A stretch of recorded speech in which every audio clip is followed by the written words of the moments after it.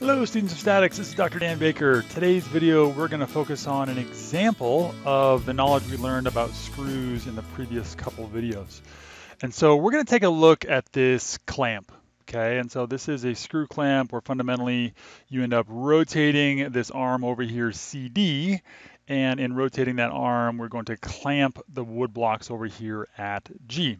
Now we have a symmetrical geometry here. We're 200 millimeters both from A to G, also A back to this vertical um, screw arm, and notice that everything's symmetrical top to bottom.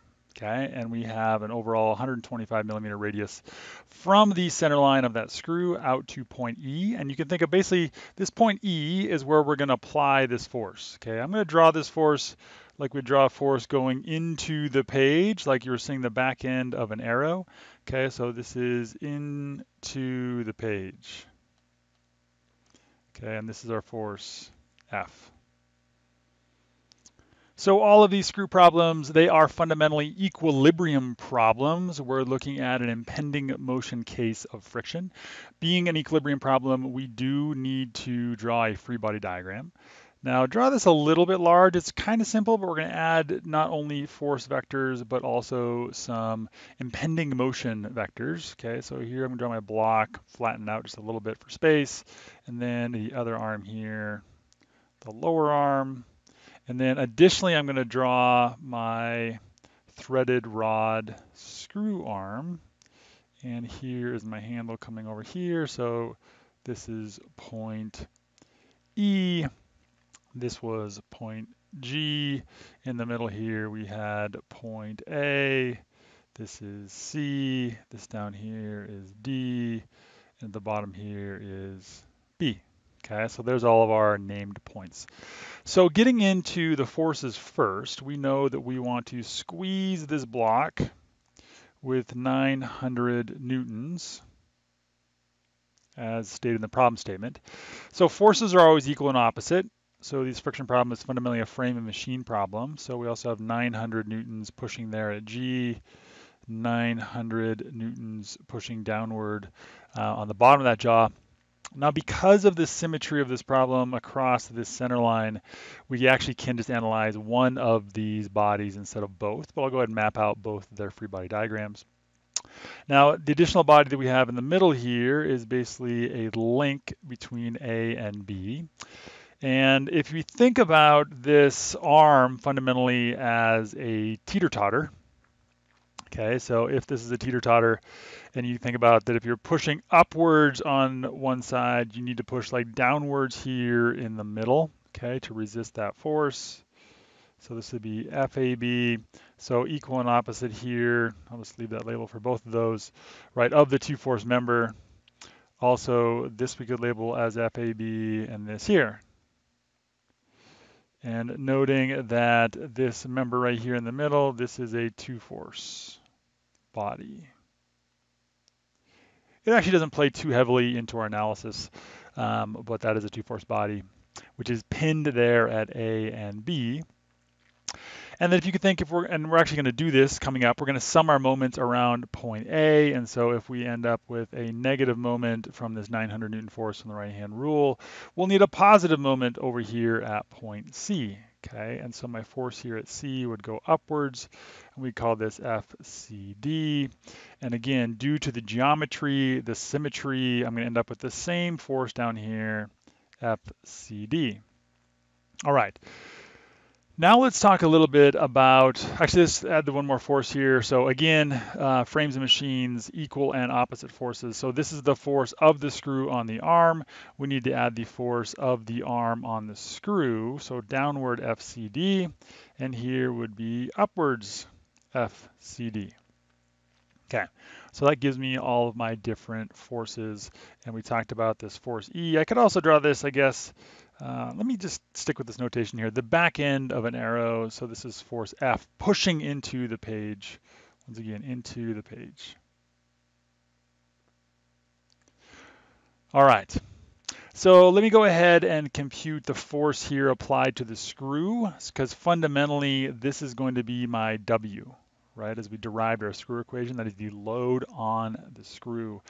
And so in order to find that value, zoom out there a touch, we can say that our sum of moments at point A, this is going to be equal to my FCD, distance of 0.2, I'm going to use meters instead of millimeters, so 0.2 FCD, that'll be positive, and then negative 900 times also 0.2, um, no moment from FAB, and this is equal to zero. So we can find out that, not a big surprise, but FCD due to the geometry is exactly equal to the 900 newtons. Okay, so that gives us our loading again. So this is my W, my loading on the screw. Now we were given some information about the lead L and the mean radius R of that screw. And with those, we can actually compute our thread pitch. Okay, so we can find our thread pitch. Let's say find alpha. In order to find that alpha, we can say that alpha is equal to the inverse tangent, right, of the lead divided by the circumference 2 pi times r. So plugging those values in, we can find that our alpha is equal to a thread pitch of 3.643. And that will be in degrees. All right, and the next thing we can take a look at is our friction angle. Okay, so we were given mu sub s, but in these problems with screws, we want to convert that mu sub s into a phi sub s. And so you could look back at your notes and find that there is another inverse tangent relationship between phi sub s and mu sub s. And that is specifically that phi sub s is equal to the inverse tangent of mu sub s. Okay, so putting in 0.3, taking the inverse tangent, we end up with an angle, our friction angle of 16.699 degrees. Okay, so we know that these two angles are important for computing the moment we need for this system to reach impending motion. Okay, but let's talk about what direction that impending motion is going. So for one, we can notice that our forces on this screw are in opposite directions. Okay, so if the screw had the same threads all the way up, then one of these would be with the load, one of these would be against the load. But if you think about how this clamp has to work, we want to have essentially symmetrical motion based upon one type of rotation of the screw that moves one of these arms. It's going to be C here needs to go up, and D needs to come down, right? That's going to be the motion. And the reason those need to go in that direction, and I'll map these all the way over from here, is we want this arm over here, the impending motion of G to go down. We want the impending motion of the lower jaw here, so I'll just label these with IM, to go up. Now we're going to leave point A and point B. We're going to treat them like fixed axes pins, okay, kind of like the center of a teeter-totter. They're just going to pivot around those points. And so if you want G to go down and A doesn't move, does C have to go up or does it have to go down? Turns out it needs to go up. Okay, so that's my impending motion of C. Same thing here for D, that my impending motion of D is impending to go down. All right.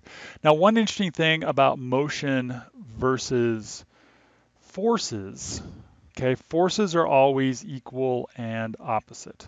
Okay, so if we think about the motion of the nut over here, okay, so let me just draw, I'll draw it in gray. Okay, there's a nut inside at point C.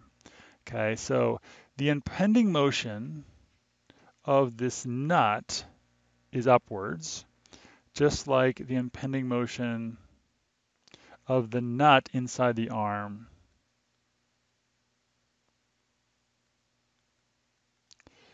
is going downwards. Okay, so I'm highlighting here is that this impending motion and this impending motion and the ones here at the bottom are going in the same direction.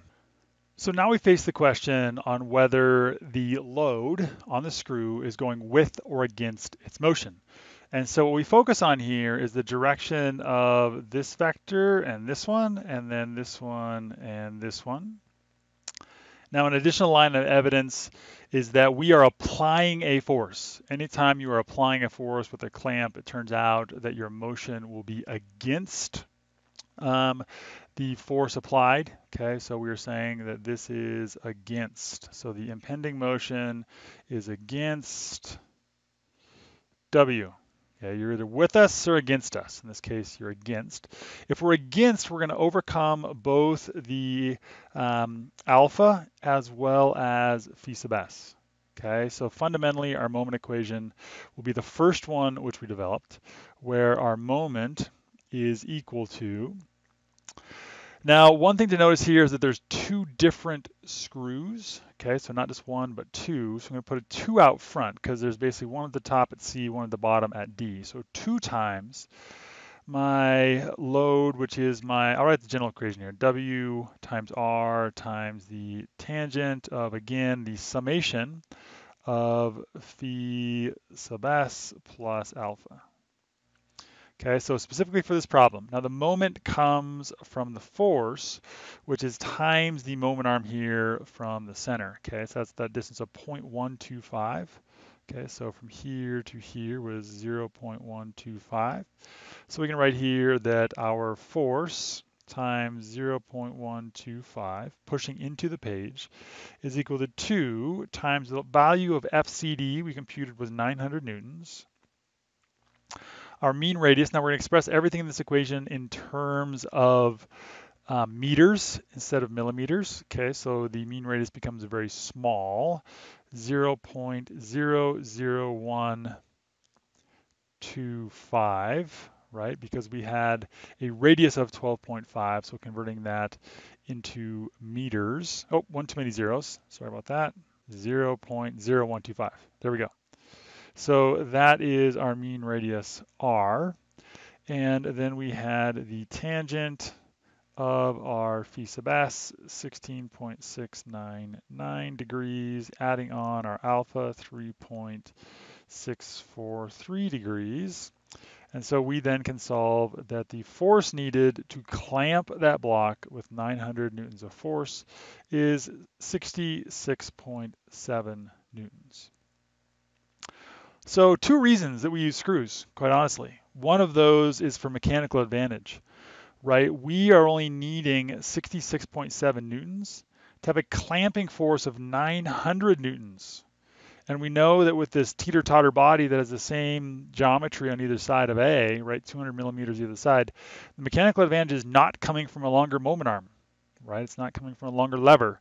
It's actually coming from that screw, okay? So we have a mechanical advantage.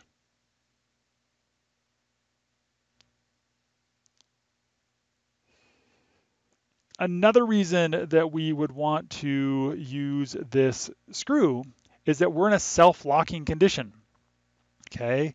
Because phi sub s is greater than alpha, it is self-locking. And so therefore we can let go of the handle and it will hold that 900 newtons of force without us continually um, twisting on the handle. Okay, so that works out quite well for us as well. Now, um, just to just to highlight, because we are in this self-locking case, if you wanted to compute the moment to release this screw, so um, or the force to release the 900 newtons. We've already done all this work, so this plugs in fairly quickly. We still have a force times 0.125. Noting this is now out of the page, because we are going to rotate that screw in the opposite direction to release this screw. The equation looks eerily familiar. 2 times 900 was our clamping force. Our mean radius is still 0.0125. Now for our tangent, we're going to take the difference of 16.699, right? This is phi sub s minus my alpha of 3.643. And so to release this screw requires less force. It only requires 41.74 newtons to release it. Put this in kind of a faint box. It wasn't what we're asked for, but we're just taking a look at what it might be. So less force to release it than it would take to apply that force. Okay, so the last part, we're asked to determine if the uh, point C and point D were right-hand threaded or left-hand threaded. Okay, and so this will get into the video that was right after the intro video, which talked about absolute versus relative motion of nuts and screws.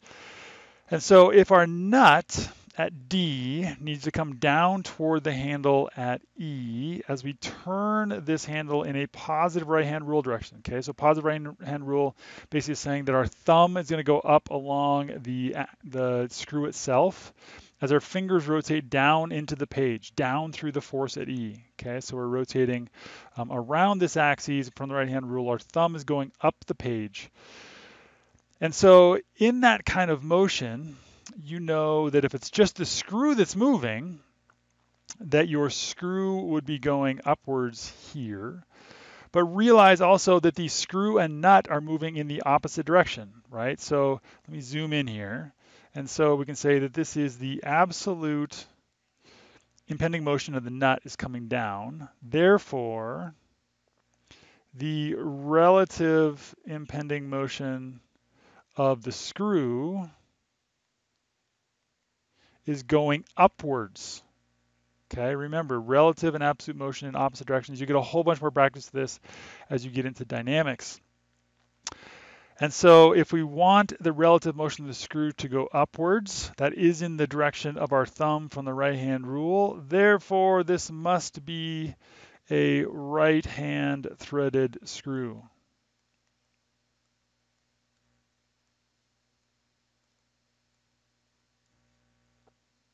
Okay.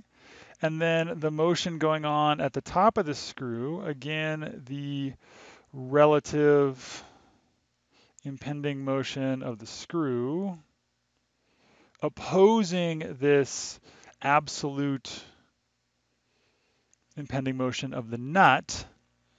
And in this case, this is going to oppose our right hand thumb. Therefore, this one needs to be needs to have left hand threads.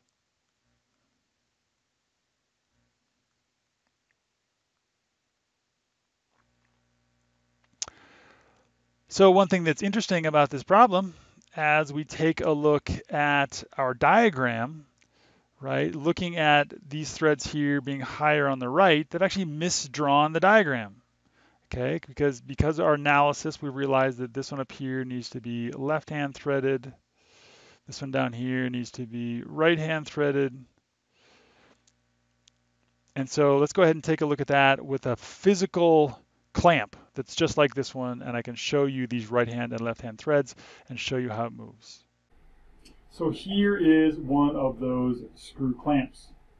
So fundamentally what we want to have happen is we want to turn this handle here in a positive right hand rule direction and have these jaws over on this side get closer together. Okay, and so this is actually engineered in that way. So if I turn this handle in this direction right here, so turning, turning, turning. What we can see, and I'm going to hold this right here just so that only the upper one moves. We can see here that this one gets closer and this one over here gets further away. If I turn it in the opposite direction to release that clamp in this direction, we can see, of course, that the motion is opposing. The other thing you can notice physically as I move this here a little bit closer is that we actually have a right hand thread here on the bottom part, higher on the right hand side, and then looking, the, the thread actually switches right here in the middle. And so over here on this side, what we see is it's higher on the left-hand side here. Okay, so that also indicates physically that this is a left-hand thread, and physically this is a right-hand thread, and it switches over there right in that middle. I hope that helps kind of clarify how these overall clamps work. I appreciate your hard work. Have a great day.